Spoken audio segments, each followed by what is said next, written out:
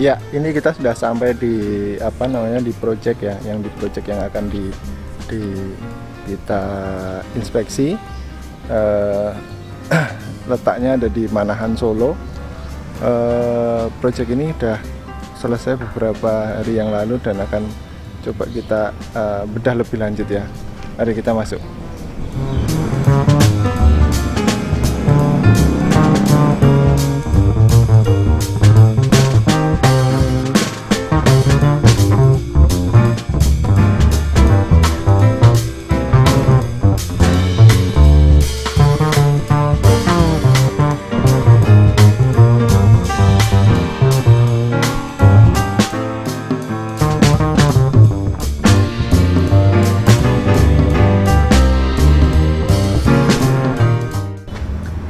Ya, uh, dari depan ya, uh, kita melihat ada uh, rumah ini menggunakan pagar besi, pintu pagar besi, kemudian uh, menggunakan uh, pagar dinding yang di finishing dengan uh, batu alam dan dengan roster ya. Kalau kita melihat bahwa uh, pintu pagarnya ini terbuat dari besi yang yang besi hollow yang kemudian diisi dengan uh, espanda. Nah, kemudian di finishing dengan cat berwarna putih sehingga uh, kelihatan lebih lebih cerah untuk rumahnya ini ya, sesuai dengan warna rumahnya sendiri yang juga menggunakan warna-warna cerah.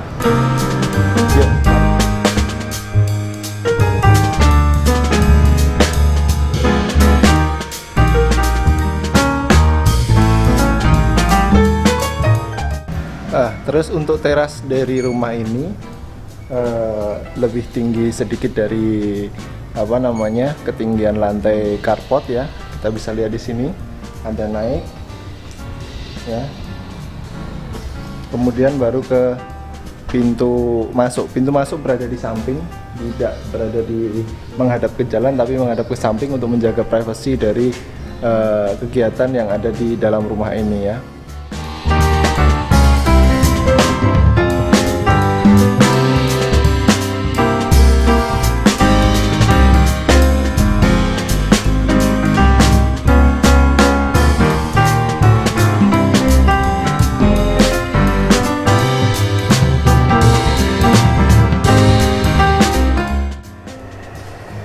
Bagian-bagian bukaan seperti pintu dan jendela menggunakan finishing yang berwarna putih.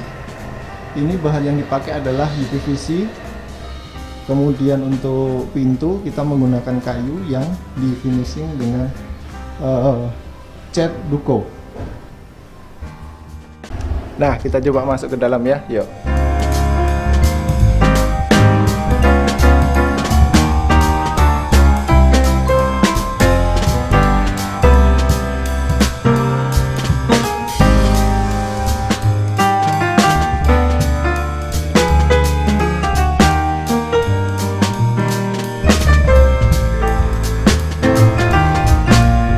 Jadi eh, rumah ini mempunyai tiga kamar tidur ya, tiga kamar tidur, kemudian ada dua kamar mandi, dapur, ruang cuci, kemudian ada juga eh, taman belakang untuk bisa dipakai sebagai untuk tempat jemur ya.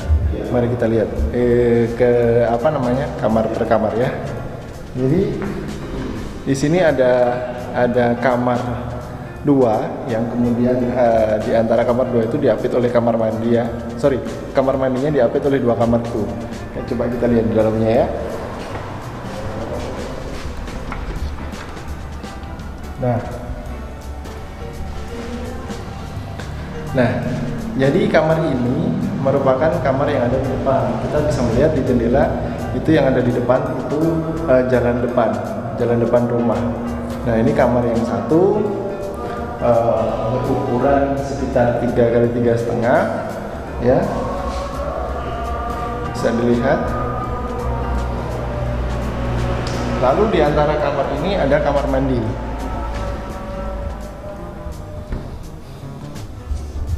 Kamar mandinya menggunakan shower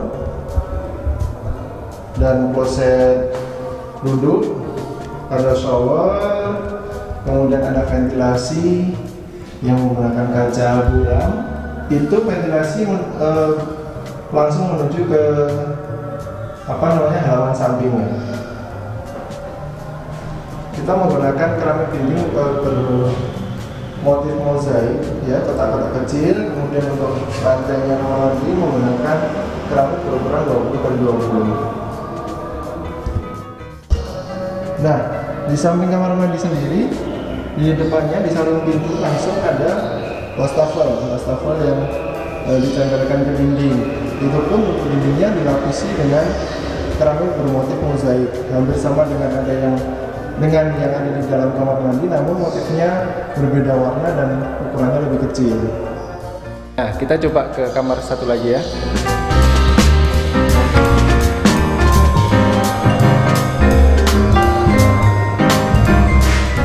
kamar ini eh, kamar yang tadi mengapit satu kamar mandi tadi, dua kamar yang mengapit, mengapit satu kamar mandi, tapi ini yang ada di belakang sehingga bukaan jendela, bukaan jendela dari kamar ini langsung menghadap ke taman belakang. jadi taman jadi kamar ini mendapatkan asupan cahaya dan juga udara yang cukup bagus. Dari kamar tadi, dari kamar yang di belakang tadi, di sampingnya ada bukaan pintu yang itu nanti akan menghubungkan ke taman belakang uh, dengan ruangan di dalam rumah. Ya, coba kita ke keluar ke taman belakang ya.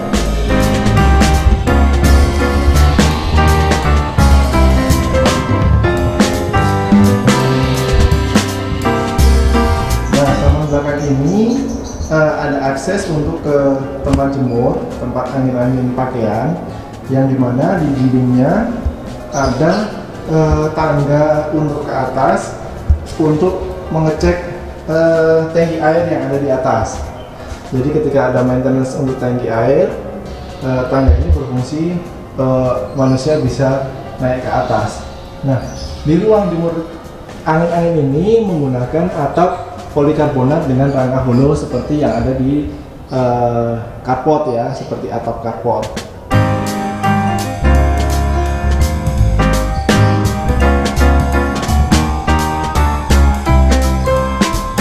Nah, lurus dari taman ini, taman belakang ini, kita bisa mengakses ke uh, bagian halaman depan bangunan, bagian depan rumah melewati pintu samping yang seperti yang saya sampaikan di awal video tadi.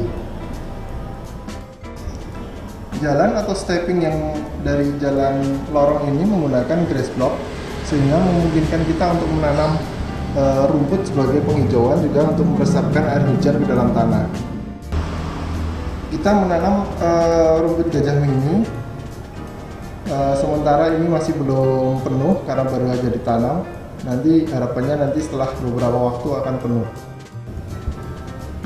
Atap dari bangunan ini menggunakan genteng beton ya. E, untuk mendapatkan bentuk tropisnya kita mendapat e, menggunakan e, bentuk limasan dengan adanya tritisan sehingga air hujan tidak akan tampias masuk ke dalam bangunan. Juga melindungi dinding bangunan dari panas dan setiap bukaan kita tempatkan kanopi beton sebagai pelindung dari bukaan itu sendiri sehingga tidak dapat uh, tidak menerima air hujan atau air hujan tidak bisa masuk ke dalam uh, bangunan melewati lubang bukaan. Ya itu soal taman ya. Jadi kita coba lihat ke ruang-ruangan berikutnya. Kita masuk lagi yuk.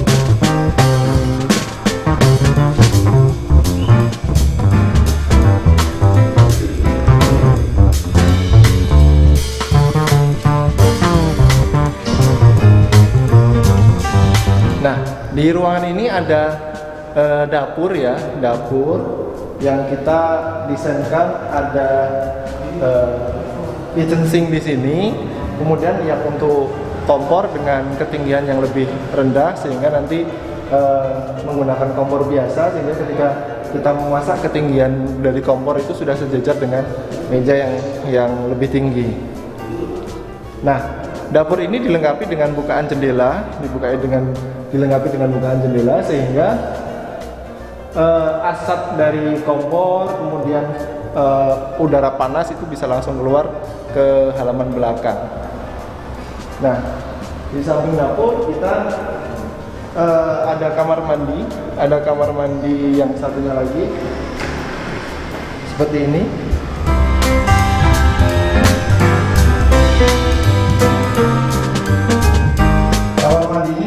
Dengan shower, kemudian ada ventilasi yang menghadap ke kamar belakang sehingga uh, sirkulasi udara dalam kamar mandi bisa langsung uh, keluar ke taman belakang.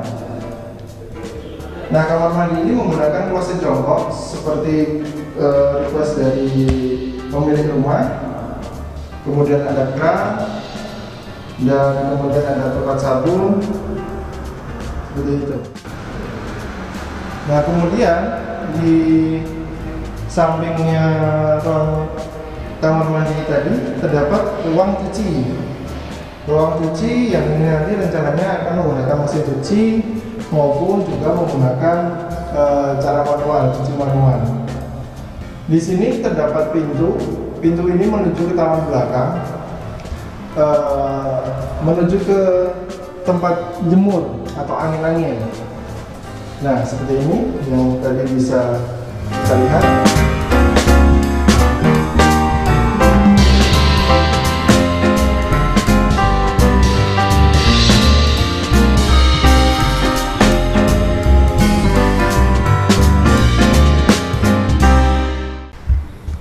Nah, setelah itu uh, kamar yang satu lagi yang ada di bagian depan. Nah, kamar ini langsung berbatasan dengan uh, yang ada di bagian depan bangunan. Nah, kita bisa melihat di dalam kamar ini terdapat bukaan, bukaan jendela untuk asupan cahaya dan sirkulasi udara. Itu kita bisa melihat uh, bagian depan rumah.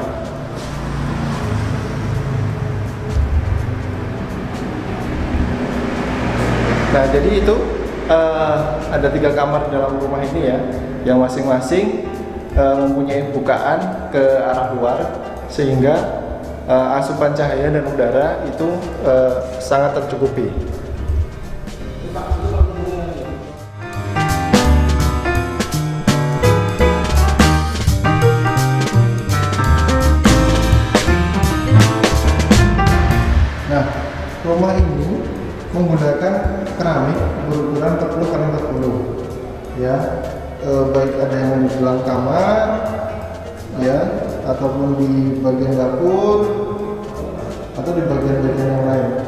Bagian kamar mandi dan area cuci.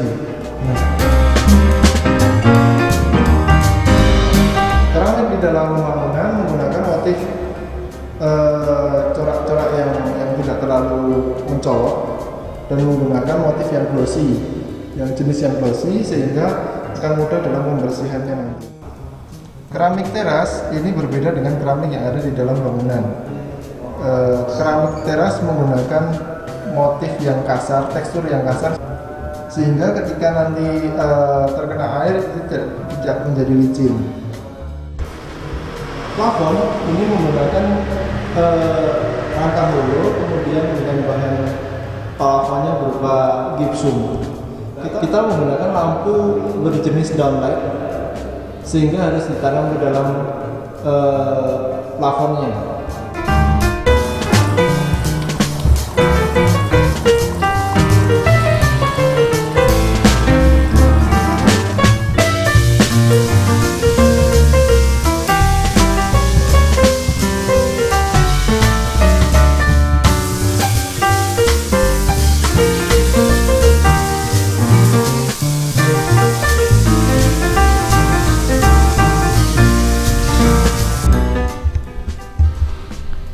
Itu tadi uh, apa namanya bedah kita bedah rumah kita kali ini ya uh, kita akan pulang ke Jogja setelah sudah selesai kita tadi sempat uh, menyirami tanaman juga daripada nanti mati karena rumah ini belum ditempati ya. Oke sampai jumpa di bedah karya lagi berikutnya untuk proyek-proyek kita yang lain ya. Yuk kita pulang dulu. Sampai jumpa.